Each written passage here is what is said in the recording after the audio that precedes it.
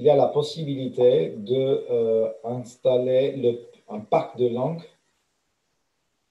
au cas où vous avez installé la version, bon, ça dépend, il y a pour AutoCAD 2020, AutoCAD 2019, là c'est AutoCAD 2020. Donc je n'ai pas réinstallé la totalité du logiciel. Vous vous souvenez, j'avais installé le logiciel en italien. C'était un peu compliqué à suivre. Et donc j'ai ajouté le pack de la langue française. Maintenant, j'ai deux versions d'AutoCAD. J'ai une version d'AutoCAD, mais avec la possibilité de l'utiliser à la fois en italien ou en français. Bon, je vous le dis au cas où vous avez besoin d'utiliser AutoCAD dans d'autres langues qui ne soient pas le français. Voilà. Et donc, nouveau dessin. Commençons un nouveau dessin. Très bien. Euh, là, on va vraiment rentrer dans le vif du, logiciel. Alors, je pense que moi-même, j'ai dû faire euh, cette mise en page. Euh, j'ai dû paramétrer l'interface pour que toutes mes icônes soient dans la barre supérieure. Si je ne me trompe pas, le Mac affiche les icônes de façon différente. Toutes les icônes et toutes les barres d'outils sont sur le côté gauche du Mac mais vous pouvez à tout moment paramétrer et réagencer les outils à votre façon, selon vos désirs et, votre compétence. Première chose, sachez que dès que vous commencez à travailler en AutoCAD, il y aura toujours, comme, comme, comme illustrateur Photoshop, euh, vous avez un calque de défaut, qui est le calque 0. Et si vous allez commencer à dessiner, tout ce que vous allez dessiner, il va s'enregistrer sur le calque 0 automatiquement.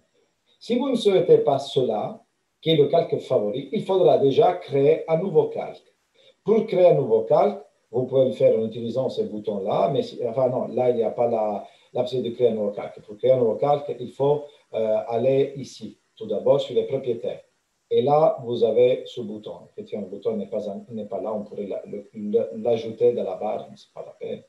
Donc, on va créer un nouveau calque en cliquant dessus et en le renommant. Calque, si vous voulez, on laisse calque 1 pour aujourd'hui, mais sinon on peut mettre dessin test Or, il vaut mieux, même sur AutoCAD, ne pas laisser d'espace, donc on met des underscores, des tirets bas, comme ça, on est tranquille, tout, euh, tout va bien.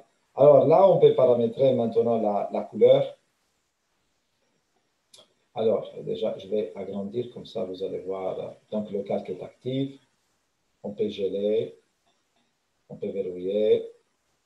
Il y a des questions relatives à l'impression, la couleur, le type de, ligne, l'épaisseur de la ligne, la transparence, et, etc. Je pense que là, c'est bon. Alors, par exemple, la couleur, on peut dire, on va mettre du rouge, ne serait-ce que pour, euh, voir ce que ça donne. Euh, alors, type de ligne continue, on pourrait, vous, n'avez qu'une seule possibilité ici, mais si vous, allez charger les autres, vous en avez encore d'autres. Ouais. Puis il faut savoir qu'il y a des bibliothèques, qu'on peut récupérer des fichiers. Vous voyez, là, on peut aller récupérer un fichier en ligne, on peut rajouter d'autres façons de euh, dessiner euh, d'autres types de lignes, tout simplement. Bon, là, on, a pas mal de, possibilités, vous voyez. Euh, qui devrait être suffisante pour notre dessin. donc, on laisse la ligne continue, l'épaisseur annulée, l'épaisseur est là. Excusez-moi. Hein. Et on peut se demander lorsqu'une autre commande, quelle, commande? Je n'ai pas d'autre. Voilà, c'est ça. Euh, donc l'épaisseur, vous avez par défaut, celle-là, la, plus petite, mais vous pouvez arriver à d'autres épaisseurs. Euh, vous pouvez mettre par exemple 35 mm. De toute façon, euh, quand vous commencez à travailler, il faut activer la visibilité de l'épaisseur. En bas, je suis allé ici tout à droite, j'ai cliqué sur ce bouton avec trois lignes parallèles, horizontales, il y a épaisseur de la ligne. Pourquoi? Parce que si maintenant je commence à dessiner, alors j'ai créé mon calque déjà, je ferme le panneau, Ensuite, je commence à dessiner une ligne. Déjà, regardez, j'ai commencé à dessiner de manière rapide et comme le calque favori, c'est le calque 0, le calque courant, c'est le calque 0, tout, même si j'ai créé un autre calque, tout va se mettre sur le calque 0. Alors, je fais quoi? Esc, échappe?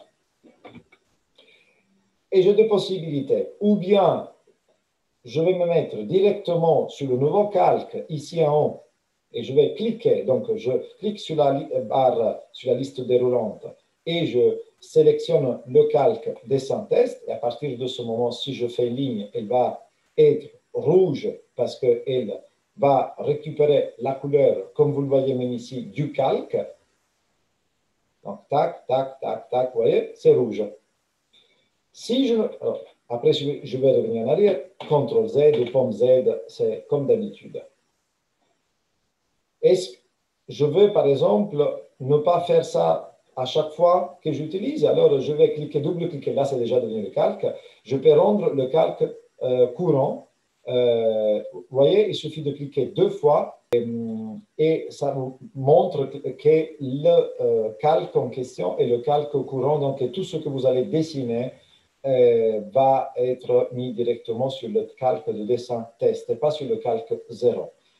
Moi, le calque 0, je ne l'utilise pratiquement pas. Il se crée par défaut et je le laisse tout seul là, comme ça, parce que je ne peux pas faire grand-chose sur le calque 0. Donc, euh, je préfère ne pas l'utiliser, ne pas mettre des choses dessus. Ah, l'épaisseur, on disait.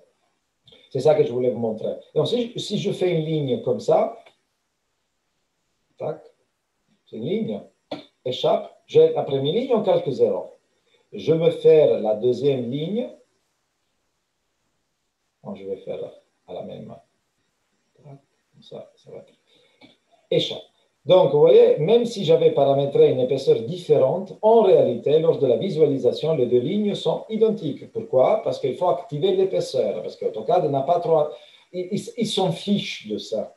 Pourquoi ils s'en fichent? Parce que l'impression, l'épaisseur n'est pas visible maintenant, mais Dès que vous allez imprimer en PDF sur votre imprimante les deux lignes, il comprendra qu'il y a une épaisseur différente parce qu'il va voir dans les, propriétés du calque que l'épaisseur du calque dessin test est de 35 mm, 0,35 mm, et par conséquent, il va l'imprimer de façon différente. Si maintenant je vais imprimer en PDF, très vraisemblablement, on va faire un test je ne joue pas euh, avec les épaisseurs d'habitude, mais je vais bien tester. Donc, si on va euh, imprimer, quand on imprime, on tombe sur une page qui a l'air d'être assez compliquée. C'est pour ça que je ne voulais pas le faire. Mais bon, maintenant, je vais le faire vite fait juste pour... Euh, voilà, je vais lui dire, il faut que tu m'imprimes cette fenêtre-là. L'imprimante. Tu vas choisir du PDF. Voilà on va le mettre en A4, A4 mais euh, on va, on va, on va centrer, voilà. Donc, voyons, tracer avec épaisseur de ligne, vous voyez? Normalement, sauf si je, ne dis pas de bêtises, je vais euh, l'enregistrer maintenant le fichier. Oui, bon. Et regardez, même si la différence n'est pas extraordinaire, vous avez voilà, une ligne, une petite et une, euh, plus grande. Ah, cette histoire de réaliser à l'aide d'un produit Autodesk c'est quelque chose qui ne m'est jamais arrivé. Je sais que ça arrive, mais normalement, ça ne devrait pas être le cas. Je ne sais pas pourquoi elle me fait ça alors que je suis connecté. C'est très embêtant. Peut-être qu'il faut gérer la licence. Peut-être, ouais, peut-être que c'est ça le problème. Ouais. J'espère que maintenant ça a marché. Euh, peut-être que vous n'avez pas la possibilité, mais moi, normalement, je ne devrais pas avoir ce problème. Je vais imprimer. Oui. Et voilà, c'est bon. Moi, je l'ai réglé le problème. Mais donc là, vous voyez, mais si en réalité, ah non, vous ne le voyez pas parce que je ne suis pas en train de partager mon écran. Euh, euh, pas la totalité de mon écran. Voilà. Donc là, vous voyez mon, euh, mon PDF. Et donc, vous voyez bien que les deux lignes sont légèrement différentes, l'épaisseur. Bon. Tandis que si vous allez sur AutoCAD, sont identiques. Pour avoir une visualisation immédiate automatique, il faut aller cocher ici sur épaisseur de ligne. Vous voyez qu'elle s'allume ici au milieu. Et regardez, Dès que je l'active, vous avez la possibilité d'apprécier une épaisseur différente. Voilà. Il faut que je partage uniquement ça, ça c'est plus simple pour vous. Voilà. Donc, les lignes, c'est bon, l'épaisseur, c'est bien, on va continuer à dessiner. Donc, la ligne. Là, on les a, tracées, au pif, donc on ne sait pas du tout.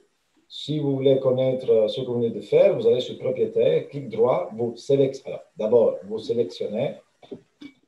Pour désélectionner, vous savez, échappe, escape. Et sinon, vous sélectionnez, clic droit, Propriété, et vous avez des informations sur, euh, la, sur, le sur la ligne que vous venez de dessiner.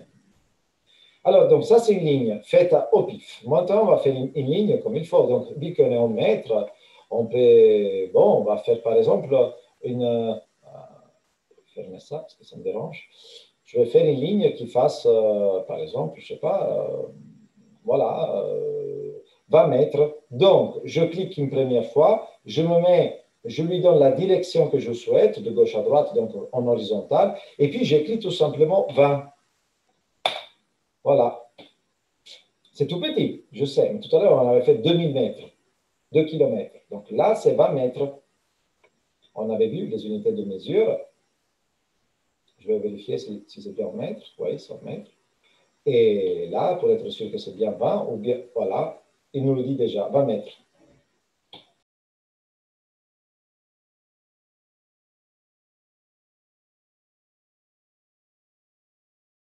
on va sur la ligne, on va sur l'outil décalé, j'ai dû le chercher parce que voilà, je, cherchais l'offset, mais bon. Et ensuite, je lui donnais la distance de décalage. J'ai donné un mètre pour, euh, pour que ça ne fasse pas trop. Vous pouvez faire plus. J'ai écrit 1, entrée, et puis, évidemment, il faut dire, tu veux la décaler, certes, en haut ou en bas. Donc, vous pouvez créer un offset en haut ou en bas. Là, j'ai mis en haut, peu importe, en bas, comme vous voulez. Et je le clique. Et donc, j'ai créé une ligne d'offset. Une autre chose que l'on pourrait faire serait, par exemple, de faire un, un rectangle. Je ne fais jamais des rectangles, donc. Alors, oui, ou la rotation de la côte, et si je fais côte, la longueur, voilà. La largeur, 10. Voilà.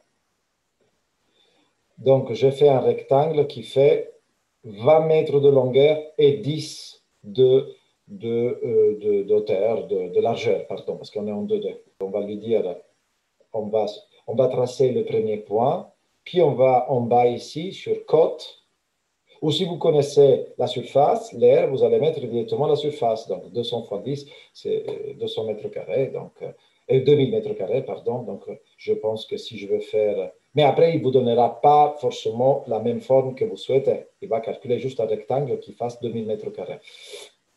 Moi, je m'étais mis sur côte. Et là, il me dit, dis-moi la longueur. Alors, je lui dis 20 mètres. Oups. Oh, excusez-moi.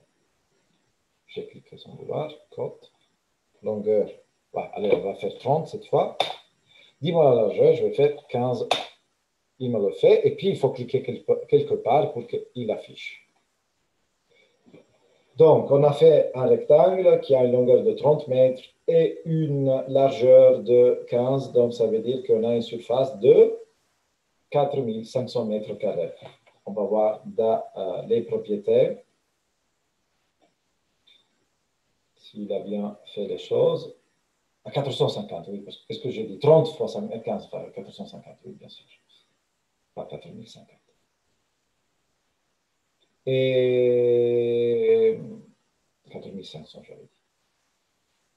Si je vais sur mesurer, voilà, il me donne toutes les infos. Ça, c'est pour ce qui concerne le rectangle. Euh, idem, cercle, si on veut tracer un cercle, par le fait que pour le faire, on fait juste comme ça, vous voyez. Donc, on va sur cercle, on sélectionne, on clique une première fois pour donner le, centre du cercle, et puis plus on s'éloigne, plus le cercle sera évidemment grand, parce qu'on est en train euh, d'agrandir le rayon. Mais on peut là aussi le paramétrer, donc 5 mètres, et voilà, on a un cercle qui a un rayon, un rayon de 5 mètres. Encore une fois, si on va sur le côté, voilà, rayon 5 mètres, diamètre 10 mètres, etc. Et donc, vous avez la, voilà, vous avez la, circonférence, 31 mètres et 41 cm, ou 42 si vous voulez approximer, et la surface 78, donc toute la surface de, du cercle. Euh, là aussi, évidemment, vous pouvez faire l'offset, l'outil de décalage. Donc, dire à partir de là, euh, tu vas me faire un autre cercle à l'intérieur qui fasse 4 mètres enfin, pardon, je me suis. J'avais fait combien là? Ouais. Attendez. Donc, spécifier la distance de décalage. Ah oui, je pensais le rayon. Donc, 4, évidemment. Si on veut faire, alors on va mettre 1 mètre. Et puis, on, va se mettre, on peut se mettre à l'intérieur, on peut se mettre à l'extérieur. OK? Puis, euh, c'est intéressant parce que AutoCAD vous permet de refaire la même commande plusieurs fois sans rien faire. Vous voyez, je n'ai pas quitté la commande, donc maintenant je peux continuer. Tac, tac, tac, tac. Vous voyez Sans devoir euh, reparamétrer à chaque fois. Parce que là, je n'ai pas cliqué sur euh, échapper. Si je le fais, évidemment, je perds la commande, il faut recommencer. Mais dans ce cas-là, il le sait. Donc maintenant, je peux repasser par ici. Et voilà que ça va assez rapidement. Idem ici, la commande est toujours, il y a une commande, laquelle? La commande c'est décaler d'un mètre à l'intérieur ou à l'extérieur, peu importe. Donc vous pouvez continuer à le faire. Ça c'est intéressant d'AutoCAD parce qu'effectivement, ça va très vite.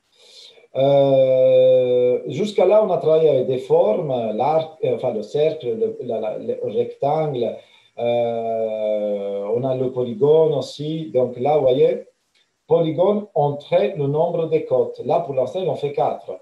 Et, donc 4, c'est un quadrangle en tout cas. Et c'était 4. spécifier le centre du polygone ou le, le, côté. Alors, inscrit ou circonscrit à tout un cercle. Hein? Là, sont inscrits. Voyez Là, vous avez la possibilité de euh, limiter le curseur dans le sens orthogonal, comme ça, voilà, vous voyez, vous allez avoir une losange dans ce sens-là. Et ça, c'est le, c'est le, mais sinon vous n'êtes pas obligé, vous pouvez désactiver l'orthomode, comme ça vous êtes libre de faire les formes que vous voyez, que vous souhaitez faire. Entrez le nombre de polygones. Cette fois-ci, on va faire un hexagone entrer le nombre de côtés. Donc, je dis 6. Bon, c'est bien. Si le nombre 6 est déjà entre chevrons, je peux juste cliquer sur Entrée. Maintenant, il me dit spécifie le centre de, euh, du, polygone. Je vais mettre par exemple ici. Mais non, on ne va pas faire des choses trop compliquées, on se met à l'extérieur. Maintenant, il me dit euh, inscrit dans un cercle ou circonscrit autour d'un cercle. Voilà. Euh, et là, ce n'est pas fini. Il faut préciser le rayon du cercle, ce qui nous donnera la taille du polygone. On va mettre 10 par exemple. Et voilà que vous avez un hexagone dont le, euh, le, rayon sera de 10 mètres. Par contre, si je vais inscrire un cercle dedans, ça, marche bien. Si on va mettre 10, 10 mètres comme un, on a le, le, cercle qui est inscrit parfaitement à l'intérieur de l'hexagone, parce que tout à l'heure, qu'est-ce que j'avais dit? Qu'il fallait dessiner mon, mon hexagone autour du cercle et pas à l'intérieur du cercle. Finalement, ça vient à la même chose, ou presque. Là, c'était à l'intérieur, si je ne me trompe pas. On peut aller faire la même chose. C'était à l'intérieur, non? Je me souviens plus. Voilà, vous voyez?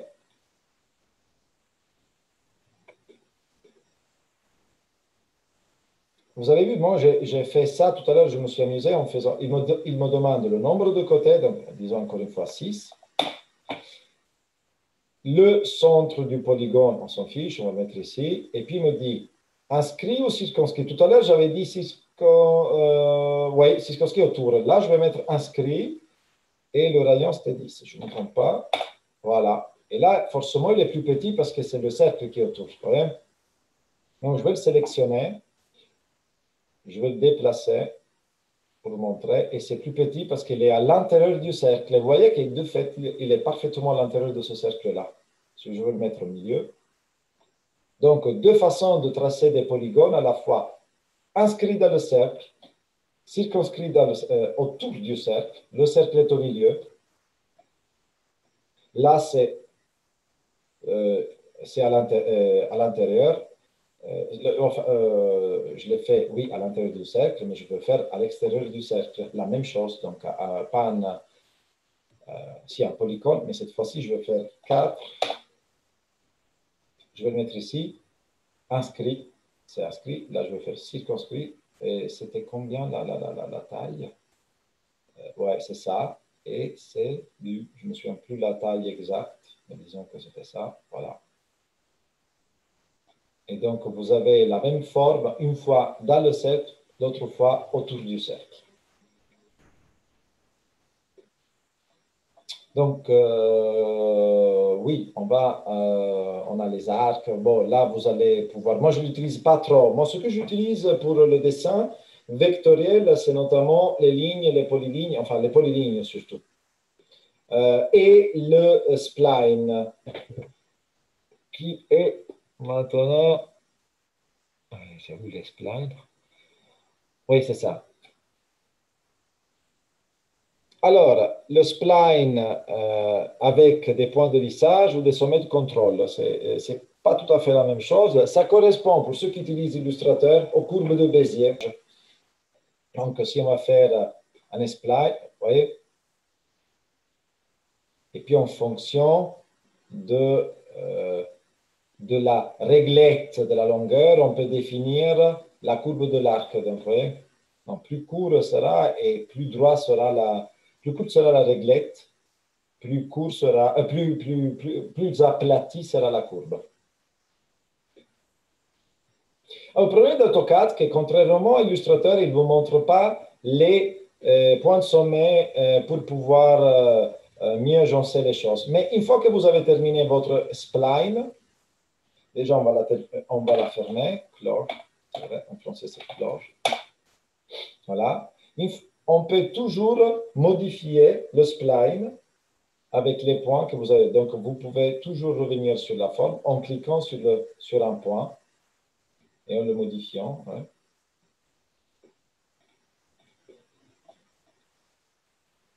Et ça, c'est pour avoir des formes, disons, plus irrégulières, parce que jusqu'à là, on avait travaillé avec des rectangles, des cercles, des, polygones. Mais là, en l'occurrence, on est en train de faire des formes non seulement irrégulières, mais aussi arrondies.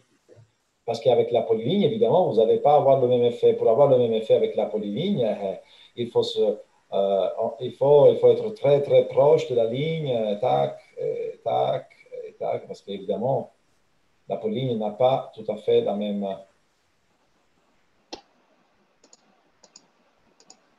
Je ne pouvais pas me mettre à côté parce qu'évidemment, c'est une polyligne. Ah ça, c'est le problème des, euh, des, outils d'accrochage. Je vais les enlever, les curseurs d'accrochage, parce que sinon, m'empêche de dessiner. Vous voyez, l'accrochage était tellement partout qu'il m'empêchait de faire ma polyligne. Alors, moi, j'utilise le plus souvent la polyligne parce que ça correspond à, à ceux qui existent en, en SIG. En SIG, vous avez les points, lignes, polygones. Et en AutoCAD, vous avez plus que ça. Vous avez points, qu'on n'utilise pratiquement jamais, mais on peut les avoir. Euh, lignes, polylignes, spline, c'est-à-dire les courbes de Bézier. Vous avez plus de choses. C'est pourquoi moi, je me limite, quand je travaille en AutoCAD, à lignes, polylignes et polygones. Et les polylignes fermées reviennent. Alors, une polyligne qui n'est pas fermée correspond à une ligne de, de, de SIG. Une polyligne fermée devient, euh, correspond à un polygone du SIG. Une polyligne fermée, c'est ça. Par exemple. Voilà. On va faire les choses orthogonales. Voilà. Ah, je vais eh, me faire un peu de... Non, je ne fais pas ça. Le snap. Il ne me donne pas la direction Si. Donc, je vais me mettre sur le point, comme ça, il me donne la direction et je vais faire exactement. Et là, je vais clore. C'est une, une polyligne, mais je peux la, la fermer. Donc, j'ai une polyligne qui est désormais aussi un polygone. Et donc, ça, ça euh, revient au polygone, vous voyez, fermé, oui, on avait déjà discuté la semaine dernière. Donc, on a créé un polygone avec une polyligne. Là, c'est quelque chose de légèrement différent parce que ce n'est pas une polyligne dans le sens propre du terme, c'est plutôt un spline. Et avec des points de lissage, là, vous avez des sommets de contrôle. Donc, je pense, là, je n'ai pas. Voilà. Vous voyez? Et ça, ça revient un peu. Oups, pourquoi j'ai annulé? Je vais Là, pour le coup, vous pouvez faire un peu ce que vous faites en illustrateur. Là, vous n'allez pas intervenir sur le point lui-même, comme c'est ici, vous allez modifier directement le point. Non? Le point, en, en l'étirant. Ici, vous n'allez pas faire ça, vous allez travailler sur les sommets. Ouais. Ce qui n'est pas tout à fait la même chose, parce que le sommet ne correspond pas au point forcément. C'est un peu différent. Moi, je n'utilise pas ça. Franchement, je trouve plus difficile. Moi, j'utilise ça, cette version-là. J'ai toujours utilisé cette version-là. Mais si vous utilisez couramment Illustrator, vous allez retrouver à peu près la même chose quand vous êtes en train avec l'outil plume. C'est l'outil plume d'Illustrator. Vous êtes en train d'utiliser les courbes de Bézier. C'est des formules mathématiques qui vous permettent effectivement de créer des formes plus lisses et pas euh, euh, avec ce côté un peu anguleux qui est dérangeant parfois, non? Disons qu'on veut remplir cette forme par une couleur, euh, une texture particulière. et donc, qu'est-ce qu'on fait? On a un outil ici qui s'appelle Assure. Donc, elle permet de remplir, vous voyez, une zone fermée ou des objets sélectionnés avec un motif de hachure ou un remplissage. Donc, par exemple, vous allez cliquer sur l'hachure et là, il vous affiche un ensemble d'hachures possibles, ou bien de la couleur unie, solide, qui, voilà, qui prendra normalement la couleur, euh, on verra ça, de la, de la, de la, du, du calque. Et alors, si on choisit solide, vous voyez, Dès que je me mets dessus, déjà, ça s'affiche. Vous pouvez quand même lui dire, non, je vais te donner moi la sélection. Donc, vous pouvez choisir des points ou sélectionner des objets. Par exemple, je veux que ce soit en rouge. Ça, ça, ça, ça. Vous voyez, tous les objets fermés, manifestement. Si je vais faire ça, eh bien, ça ne marchera pas. Je ne peux pas le remplir un objet ouvert ne peut pas être rempli. Bon, et c'est bon, j'ai rempli. Les... Après, moi, j'ai choisi ce type de, de hachure. Je peux aller modifier ça et je peux lui dire un gradient, un motif. Euh, vous en avez plein ici. Hein. Des briques. Euh. Alors, attention, parce que là, pour le coup, il faut faire attention à la, à la transparence aussi, mais à l'angle aussi. Vous pouvez paramétrer l'angle d'affichage. Par exemple, si je choisis les briques, là, ce motif de briques, vous voyez à peine les choses. Mais pourquoi? Parce que l'échelle est trop grande, donc il faut réduire l'échelle pour les voir. là, par exemple, vous voyez presque rien. Hein? Non, on voit des petites choses, mais là, pour le coup, si, parce que c'est assez, la figure est assez dense, la, la est assez dense, mais dès lors que la chute devient un peu plus, disons, ouverte, alors il faut aller modifier à un niveau, vous voyez, ou de l'angle ou ça, l'échelle du motif des hachures. Là, c'est 1. Je suppose qu'il faut mettre 0. Point, point, le point déjà. Voilà. Donc, plus petite est l'échelle, plus vous aurez la possibilité, la chance de voir la chute que vous avez sélectionnée, si vous ne la voyez pas. Hein. Donc là, c'est même pas 0.1. Là, je dirais même 0.0. Voilà. Bon, là, il y a un problème parce que la forme n'était peut-être pas. Ah oui, j'ai relié. Vous voyez, ça a marché pour le coup. Ça m'a fait n'importe quoi ici. On va, on va quand même. Alors, moi, quand je fais les hachures, évidemment, ça, c'était juste pour vous montrer comment ça fonctionne. Mais moi, je fais toujours une hachure à la fois. Je ne crée pas une hachure pour cinq objets identiques, ce que d'ailleurs je viens de faire. Ça, c'est une erreur majeure qu'il ne faut pas faire parce qu'après, vous voyez ce qui se passe Si vous en supprimez une, vous supprimez les hachures de tous les objets. Donc, quand vous faites une hachure ou euh, vous remplissez une image, vous allez la faire une à la fois. Donc, vous pouvez faire, par exemple, ou bien vous allez cliquer sur l'image, entrer, et c'est bon. Voilà. Puis vous allez sur celle-là, hachure, et cette fois-ci, vous allez donner euh, celle qu'on vient de faire. Euh, on va choisir celle-là, on va mettre un angle 0,01.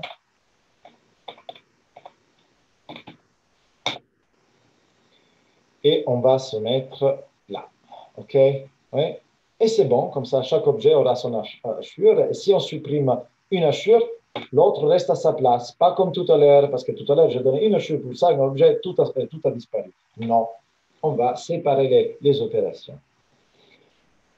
Euh, comme vous voyez, d'ailleurs, la hachure prendra la couleur du calque. Voilà.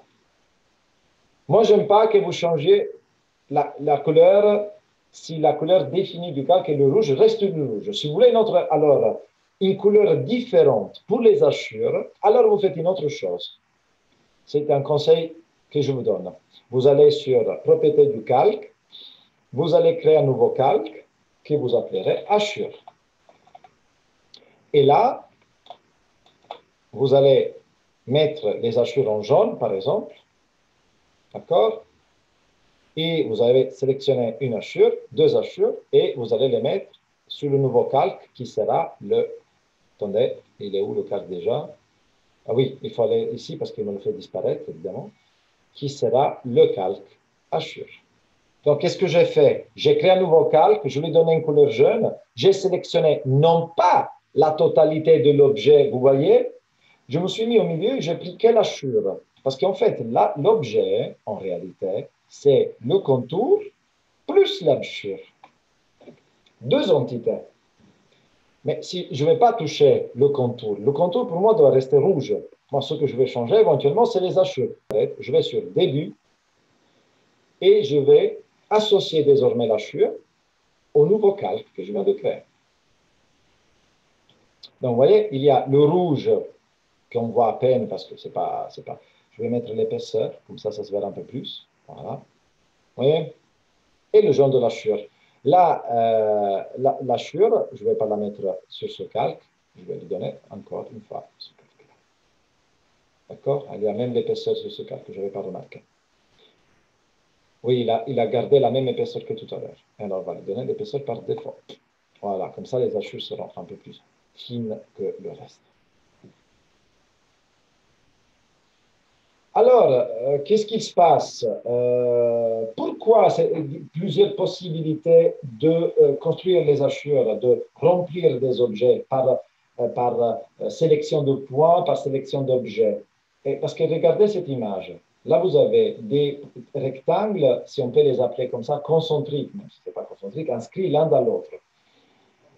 Alors, moi, je vais effectivement remplir le premier. Et bien, vous voyez, je peux choisir des points ou la sélectionner parce qu'il peut y avoir plusieurs choses à remplir. Alors, vous voyez, là, je peux me mettre là, là, là. Je peux juste sélectionner une chose, par exemple ça, regardez, et il nous sélectionne la totalité de la forme. Donc, il s'en fiche de, du fait qu'il y a d'autres rectangles qui sont inscrits, il les couvre tous. Parce que ce que nous avons demandé à l'objet, c'est pour ça qu'il faut que vous connaissiez la différence, ce que nous avons demandé à AutoCAD, pardon, c'est de créer, de remplir la sélection. la sélection est toute, toute donc, euh, euh, AutoCAD finit par couvrir les rectangles qui sont au-dessus. Vous avez ici un outil qui s'appelle Code. Voilà.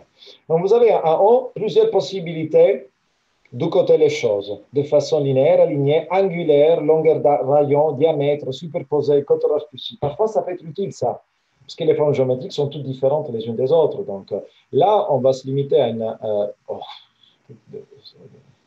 zoom. Alors, aligné. Donc de là à là. Comme il s'agit d'une ligne parfaitement euh, euh, horizontale, bah, une côte alignée, c'est parfait. Mais ça ne marche pas toujours de la même façon. Là, par exemple, on a des, formes plus complexes. Alors, je vais les sélectionner toutes et je les déplace. Ça, ça ne me, dérange pas. On va se mettre ici. Je les, ai déplacés. Donc, on va faire la, euh, la, cote. Aligner. Eh bien, si je m'aligne par rapport à ces deux points-là, vous voyez, il va me donner 33 mètres carrés. 33 euh, mètres et 12 centimètres. Si je fais par contre une, cote linéaire, toujours entre ces deux points, il me donnera un résultat différent. Parce que lui, il trace une ligne, il ne va pas faire la projection de la distance entre les deux points. Même chose ici. Euh, linéaire, bon, ça devrait être identique entre ces deux points-là. Voilà, regardez la linéaire entre ces deux points. Ça, c'est encore plus évident ce que je suis en train de dire c'est 11 mètres 56. Pourquoi? Parce que lui, il est en train de calculer la distance entre la projection de ce point et la projection de ce point. Donc, entre ça. Ça, c'est quelque chose qui vous arrive souvent, même sur les, sur les chantiers de fouilles, quand vous devez calculer la cote de quelque chose, la cote maximale et la cote minimale. Et par contre, si vous allez faire la cote alignée, c'est complètement différent il ne va pas faire de projection. Il va prendre exactement la longueur de ce segment, qui est 16 mètres 35. Je répète, donc la côte alignée, il va respecter la longueur. La côte, la côte linéaire, il va me faire, il va faire des projections, il va faire la projection. Et c'est 11 mètres. Ah, une autre chose que je ne vous ai pas dit, évidemment, alors regardez, ça dépend euh, sur la côte. J'étais en train de la faire. Et, si je ne zoome pas, vous la voyez à peine. Donc là aussi, il faut intervenir après sur les paramètres de visualisation, d'affichage de la cote. Donc, là, vous pouvez, regarder, vous pouvez, vous pouvez faire plein de choses sur la euh, façon d'afficher. Donc, vous allez sur propriété, ah, déjà vous l'avez vu là, vous avez le style de cote. Euh, vous avez la couleur. Alors, par exemple, même les cotes, je vous conseille vivement de les mettre toutes sur un calque. Comme ça, elles ne vous dérangeront pas. Vous allez désactiver le calque et comme ça, vous ne les verrez pas dans votre dessin. Vous les affichez jusque quand vous en avez besoin. Sinon, à chaque fois, vous aurez les cotes qui vont vous embrouiller. C'est quoi cette histoire? Vous allez mais la taille de la côte, là, c'est 2,5. Euh, je fais des tentatives parce que là, je sais plus.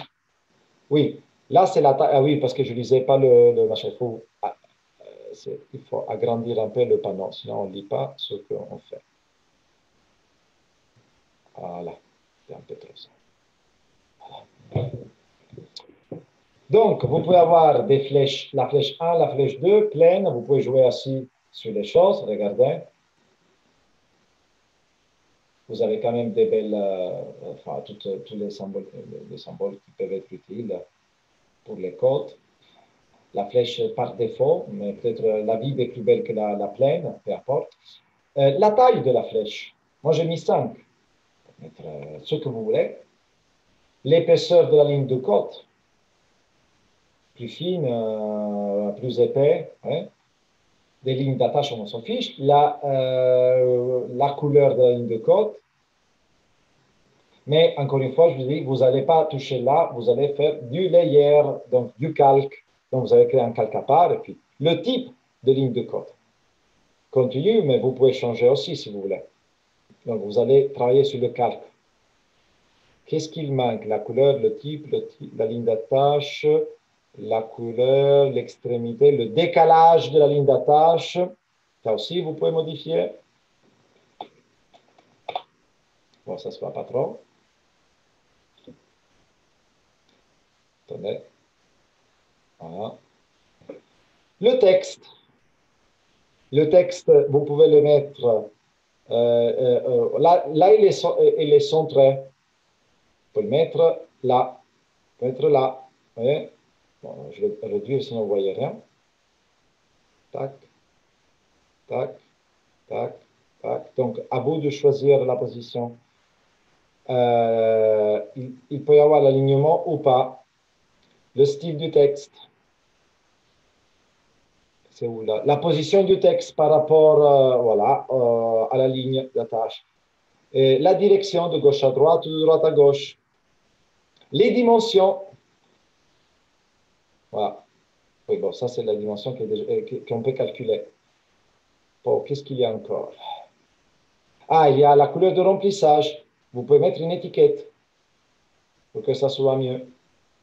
Donc, si vous voulez déplacer les choses, vous sélectionnez et puis vous allez sur déplacer, déplacer. Ah, là, je n'avais sélectionné deux. Donc, faites attention, vous voyez, là, notamment c'est le cas. Avant de sélectionner quoi que ce soit tapez plusieurs fois même sur échappe, comme ça vous êtes sûr que toutes les commandes sont désactivées. Ensuite, vous sélectionnez l'image qui vous intéresse et vous allez la déplacer, peu importe où. Euh, autre chose, le miroir, c'est de euh, euh, miroiter une chose. C'est ce que vous faites aussi sur, sur, sur Photoshop, Illustrator. Donc, spécifier le premier point de ligne de symétrie. Voilà, on peut dire ça. Vous voyez Et puis, le deuxième point, vous le dites ça, regardez. Moi, j'ai pris ce point et ce point. Tac. Puis, voilà effacer les objets sources Non, comme ça je garde les deux. Ah, donc vous prenez miroir, le premier point, par exemple sur au centre. Voyez Et là, pour le coup, vous dites non, je vais dans ce sens-là. Et vous pouvez dire effacer l'objet source. Tac. Comme ça, il m'a, effacé l'objet source parce que je voulais juste miroiter l'objet. Je ne voulais pas en créer à nouveau, comme tout à l'heure. L'échelle, la, alors, la rotation, vous la comprenez. Copier-coller, c'est même pas la peine. Moi, je fais comme ça. Moi, je registre, je sélectionne un objet, CTRL-C, ou pomme-C, CTRL-V, et je vais le placer où je veux. Non, copier, c'est pas intéressant. L'échelle, oui, c'est très intéressant, c'est très important même. on va voir même l'échelle, par exemple, on peut modifier, mais ça, vous voyez, en agrandissant ou selon des facteurs de référence. L'échelle, c'est là, c'est l'une des choses les plus importantes avec la rotation de déplacement pour les archéologues, pour des gens comme nous qui vont travailler sur des images raster que nous allons importer dans le fichier AutoCAD pour ensuite les redessiner, les vectoriser. Eh bien, il faudra, la première chose qu'on va faire, c'est de les mettre à l'échelle, c'est de les orienter selon le nord, donc de faire pivoter l'image selon le nord. Et donc, rotation, déplacement, échelle, alignement, c'est toute une série de choses qu'on va devoir utiliser.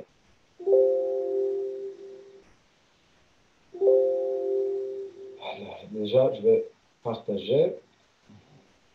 Ah, ça, c'est un, c'est un document, c'est un fichier AutoCAD que j'ai téléchargé depuis Internet. Ça, c'est un fichier AutoCAD d'une maison de Pompéi. Et Dès, que je l'ouvre, il m'affiche ce, panneau. Je l'ai laissé pour vous, pour que vous le, le voyez. C'est rien d'extraordinaire. De fait, quand j'ai téléchargé ce fichier, il y avait une image qui, allait avec ce fichier, une image raster, sur la base de laquelle le fichier en question a été réalisé.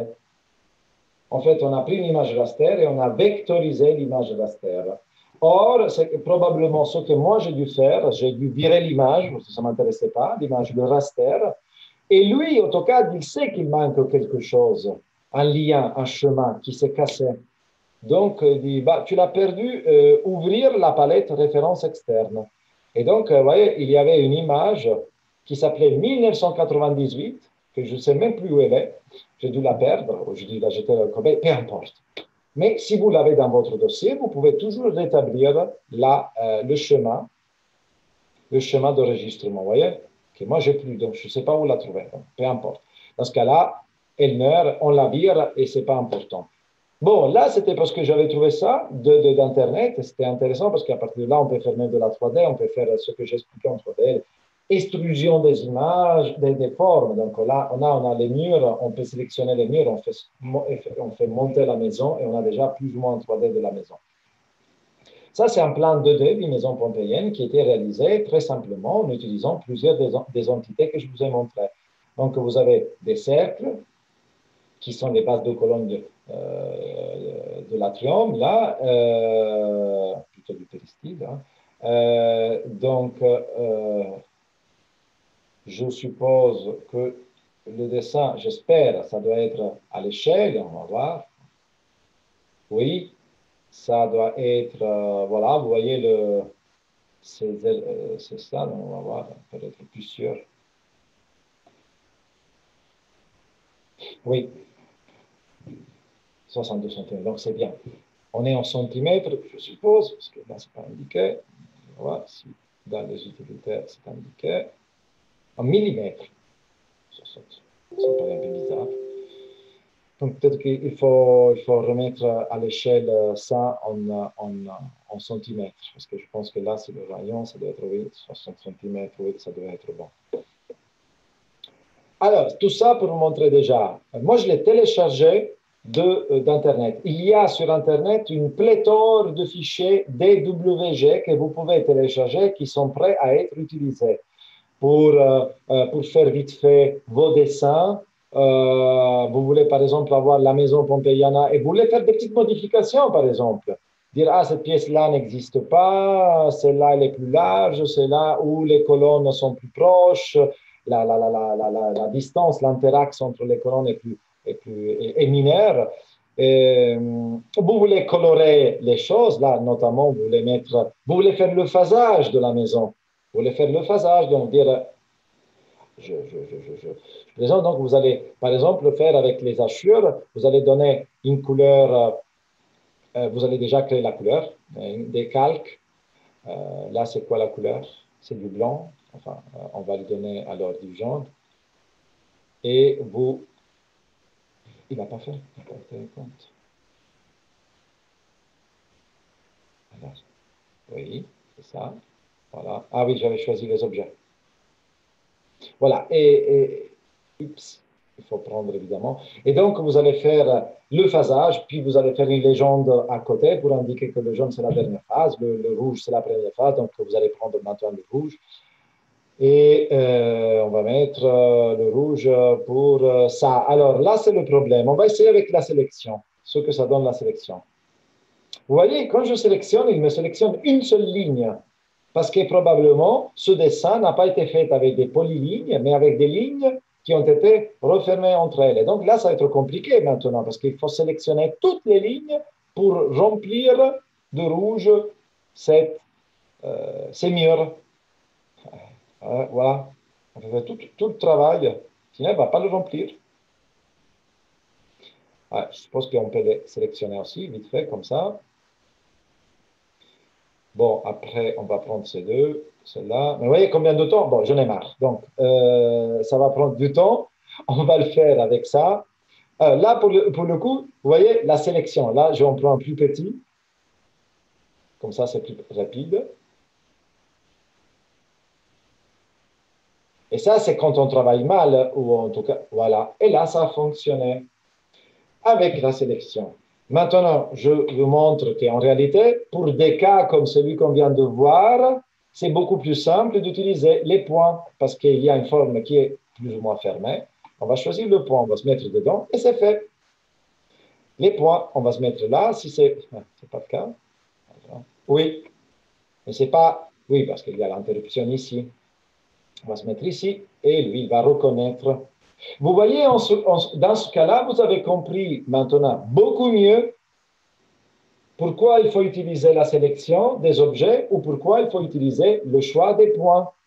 En l'occurrence, comme le, dessin a été fait à la main avec des lignes, il a fallu faire, il aurait fallu sélectionner toutes les lignes. À un moment donné, vous l'avez vu, j'en avais marre, j'ai laissé tomber. Mais alors, dans ce cas-là, vous avez la possibilité de choisir les points et là, le remplissage est immédiat. Euh, si vous allez sur Internet, alors là, j'avais, j'avais effectivement... Ah non, je, désolé, je, vais vous remontrer encore quelque chose avant de passer Internet. Alors, euh, les gens qui ont travaillé sur ça, ils ont quand même essayé de faire quelque chose de propre, c'est-à-dire qu'ils ont euh, ils ont euh, créé une belle arborescence avec des, calques. Je reviens en arrière, comme ça on va les voir. On a le calque colonne, le calque euh, mur. Mur rétino. Rétino, c'est l'équivalent d'Assure en français. C'est les, les hachures. Donc, probablement, comme le layer n'est pas actif, si je l'allume, on aura de la couleur. Je ne l'avais pas vu. Non, enfin, en tout cas, ça n'a pas l'air de marcher. Donc, non, ça, ça a dû se perdre. L'ont pas fait, je ne sais pas. Ne vois pas, en tout cas, moi. Non. Euh, projection non plus. Ils, avaient peut-être fait des choses, prévu des choses qui ont disparu. Le raster, c'est l'image qui a été utilisée et qui a disparu, pour laquelle le logiciel cherchait le schéma tout à l'heure, raster. Et test, il y a du texte? Non. Donc, euh, en tout cas, si je. Oui, bon, tout a. alors, attendez. Je vais faire comme ça. Non, ils n'ont pas, apparemment. Non. Au final, tout, tout à définir sur un seul calque, ça, c'est pas bien. Mais en tout cas, vous voyez qu'ils ont quand même distingué les choses. Maintenant, je ne sais pas pourquoi on n'arrive pas à comprendre sur quel. Ah oui, c'est ça. Oui. Tout est sur un seul calque. Vous voyez? Parce que je l'ai désactivé, il a disparu. Toute la maison a disparu. Et il me dit le calque courant sera désactivé. Que voulez-vous faire? Désactiver le calque courant.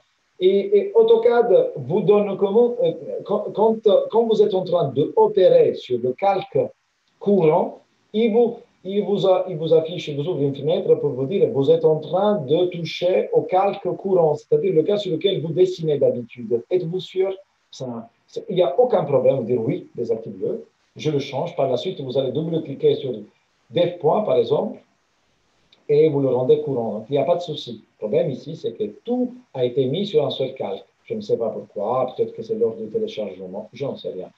Alors là, vous, comprenez, c'est beaucoup plus intéressant pourquoi je vous avais appris l'outil de sélection de gauche à droite et de droite à gauche. Si je vais faire vite fait, de droite à gauche, bon, là je suis trop bien, parce que je suis fort, mais sinon, si vous n'avez pas une souris et vous faites en vitesse, vous prenez tout là.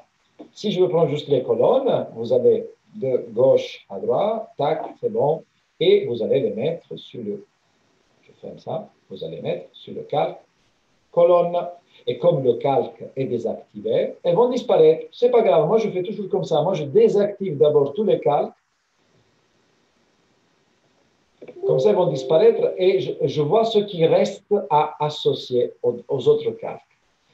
Donc maintenant, vous avez les murs. Ouais, c'est tout. Il n'y a pas d'autre chose il faudrait prendre la totalité et c'est déjà sur le, sur le calque muratura, donc euh, ce n'est pas la peine. Mais si on voulait attribuer juste une partie et pas une autre, euh, voilà, voyez? Regardez, si je fais ça, ça dépend, je peux prendre une partie, pièce par pièce, il faut faire attention. Là, je peux le prendre, donc si je veux prendre cette pièce-là, euh, oui, c'est un peu compliqué parce que. Et lui, il me prend juste les murs là. C'est un. Bon, on ne peut pas faire mieux avec les maisons de Pompéi parce qu'effectivement, il y a des murs, euh, il y a plusieurs sectes, euh, plusieurs murs. Et c'est juste en réalité. Stratigraphiquement, c'est juste parce qu'il y a plusieurs murs. Ça, c'est un mur, ils ont raison. Ça, c'est un autre mur qui n'est pas celui-là. Donc, c'est vrai qu'il faut, il faut réfléchir d'une part sur le dessin vectoriel et d'autre part sur la stratigraphie. Vous le savez mieux que moi qu'en stratigraphie, là, vous avez une USM mais après, euh, euh, ça, c'est un autre, une autre USM. Alors là, il faudrait fermer la forme, effectivement. Ça, c'est encore une autre USM. Ça, c'est encore une autre USM. Ça, c'est encore une autre USM. Et donc, chacun de ces murs devrait avoir son, devrait être une forme fermée déjà et avec un nom. Euh, alors, la, maison pompéienne que vous êtes, de Pompéi que vous êtes en train de voir, c'est un bel exemple pour travailler euh, sur des choses simples, mais stratigraphiquement, c'est un très mauvais exemple parce que, les murs devraient être fermés. Ok, tous ces murs sont fermés. Et justement, pour comprendre aussi la relation stratigraphique entre les murs, pour savoir si ce mur se lie avec ce mur, ou s'ils s'appuient, euh, si, euh, voilà, ils sont contemporains, postérieurs, etc là, la même chose. Est-ce que c'est un seul mur ou c'est des murs? Deux murs. Alors, c'est des choses que je ne peux pas savoir maintenant sur la base de cette carte, mais vous, en tant que fouilleur sur votre propre chantier, en tout cas sur le chantier sur lequel vous travaillez, vous en avez l'obligation scientifique et morale.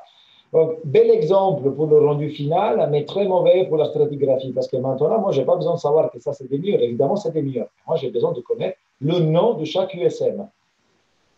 Ok, bon, sur ça, si vous n'avez pas de questions, je vous souhaite une bonne soirée et je vous dis à bientôt.